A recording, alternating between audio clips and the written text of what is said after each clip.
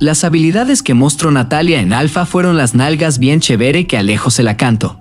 Y qué habilidad tuvo Natalia ser moza beta, hoy aseguró plata con Advil y la plata del mejor equipo del ciclo, y aún así Darling y Glock se pegan de pinches 200 mil pesos, gas. Francisco ha demostrado sus capacidades en todas las pruebas así Darling insista en menospreciarlo, todos son débiles en algo para mí el competidor más completo es Arandú.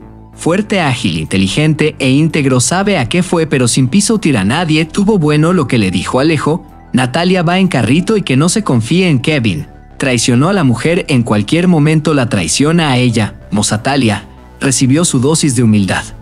Se le bajó el ego.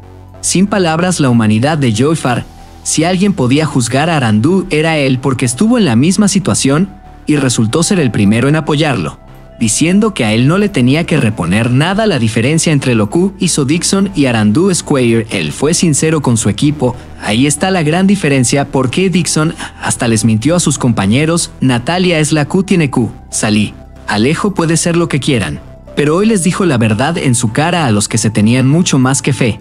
Natalia está muy tostada como se le ocurre enojarse John Alejo porque la comparó con Glock. Es más que pena de Glock que la hayan comparado con esa mala de Natalia, me gustó mucho lo que le dijo Alejo a Natalia. Por fin alguien que la baje de la nube en que ella está, creyéndose mejor que otras competidoras. Y en cuanto a la actitud de Glock y Darling, con respecto al premio de Arandú, era de esperarse, son personas egoístas, y entre ellas dos se apoyan en lo que diga la una o la otra.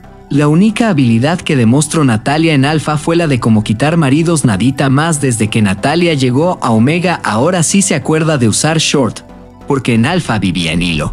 Esa era su habilidad más destacada quiero ver en la final a John Fair y Arandú. Me encantó la sinceridad de Alejo. Se tenía que decir y se dijo. Al que mal obra, mal le va así de sencillo. Empezando la prueba, Natalia estaba disfrutando las caídas de los muchachos de Beta, y el resultado fue genial con muchas caídas, difíciles, dolorosas, guerreros lograron superar los obstáculos.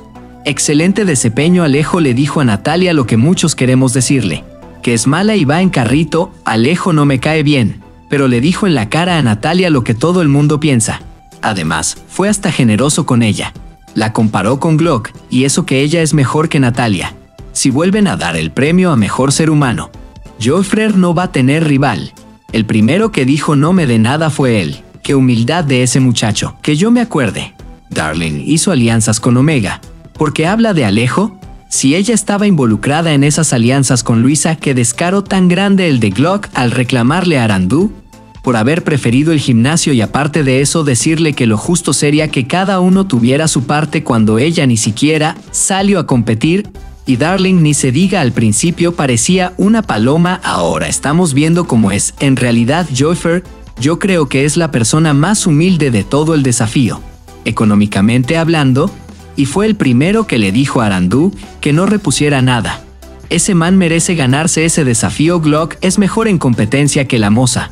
Lo que pasa es que a esa moza no le gusta que le digan las verdades en la cara. Las habilidades de Natalia fueron mostrarse como una en celo todo el tiempo. La cara de Luisa cuando escucha a Natalia decir que mostró sus habilidades, Joyfer no aceptó el cambio con Mafe cuando le tocó, y fue el primero en decirle a Arandú que por él no reponga nada, a diferencia de las hambrientas de Glock y Darling, Dios mío, uh, Natalia, no hables mucho que tú tampoco mereces estar en esta altura del juego. Me parece Q, todos están trabajando para Natalia y Kevin cada vez que Hércules habla es para confesar un delito jajajaja Arandú. Es una persona súper transparente y honesta. Qué mal que personas como Glock o Darling no sean lo suficientemente empáticas.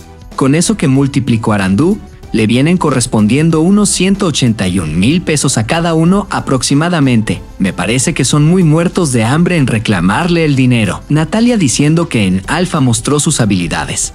La única habilidad que ha mostrado es de ser hermosa Alejo y Luisa. Les parece bien vender a sus compañeros porque es un juego, pero lloran cuando les ponen chaleco. Hércules ha mejorado mucho en las pruebas, la importancia de valorar a cada integrante del equipo. Natalia pidiendo que saquen a Arandú, mami usted es quien debe salir. Está, Natalia tiene el descaro de hablar de la relación de Kevin con su ex, calladita te veías más bonita, no seas atrevida, ya estás con el tipo, vacilatelo pero respeta a la persona que estaba con él simplemente, no la nombres y ya sigues haciéndole daño, no te parece suficiente el cubo en televisión nacional. Natalia se lleva el premio a la más descarada. Decir que la mujer que tiene Kevin no es de cosas grandes, ya es el colmo.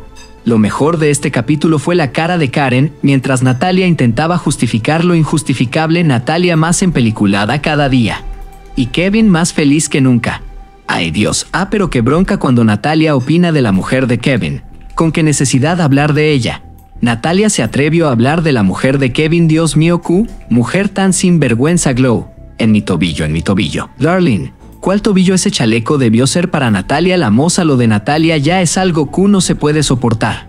Es increíble Q hable de química, una persona como esa no se merece a ningún hombre en esta vida, y para rematar, habla de la mujer de Kevin, o mejor dicho, ex mujer de Kevin, y lo de Alejo no me sorprende, siempre es así. Dice que química, dice Natalia, más química veo RN Alejo, y Luisa Karen prácticamente subió a Renzo en la rampla, aquí los quieren. Que la moza sea eliminada pronto. Cuando Andrea le preguntó a Renzo qué hiciste para llegar tan lejos sin portar tantas veces el chaleco, yo pensando que la respuesta seria, pues entre Alejo y yo traicionamos o vendimos a Campanita y a Kratos, las palabras de Hércules fueron una cachetada a Alejo y a los malos de Omega. Mientras él lo menosprecia, Hércules alaba a Dios, honra a su mamá y reconoce a su equipo, la tiene clara este hombre. Todo un crack Natalia romantizando la infidelidad aquí, los que quieren apoyar a Hércules y Arandú para que lleguen a Hollywood y poder verlos en pantalla. Lo merecen porque son chicos disciplinados y muy humanos, sería genial. Super las palabras de Arandú para la víbora de Dixon. Muy lógicas, uno es fiel al equipo que le toque. Nati está montada en una nube. La química solo la pasó ella. Ella fue la que se le metió por los ojos, y ella siempre ha sido la ofrecida. Pobrecita creo que no soy la única que espera con ansias el chaleco para Natalia. Pero con Kevin protegiéndola, lo veo difícil de que Química habla Natalia si primero le gustaba Santiago, y como no le paró bolas, quedo ardida que empezó a hablar mal de él. Después se le metió por todos lados a Kevin, que le dio más entrada. Esa frase de Alejo me hizo reír, es que Natalia lo tiene muy trabajado. Celebre cuando le pregunto y como le pregunto por la mujer de Kevin, la fobia de Natalia sería un hombre soltero, Dios mío, ya Natalia fastidia. Con el temita de Kevin. Y él ni le menciona. ¿Por qué le da miedo enchalecar a Alejo? No entiendo. Si es lo más porquería que tiene el desafío, le sigue la sinvergüenza de Natalia. Darling y Hércules se comieron la rampa, y eso hay que reconocerlo. Qué mérito el de hoy para Joyfer. Con una sola mano cargó a Glock y a su peso, Caroline siempre ha gritado dando indicaciones. No entiendo cuál es el hate. Gerlin hace rato se me salió del corazón, pero qué buen gesto de confianza el que tuvo al salir con Hércules. Alejo inmamable como siempre. Aquí, los Team Arandú, Natalia muy probablemente llegue lejos con la ayuda de su mozo.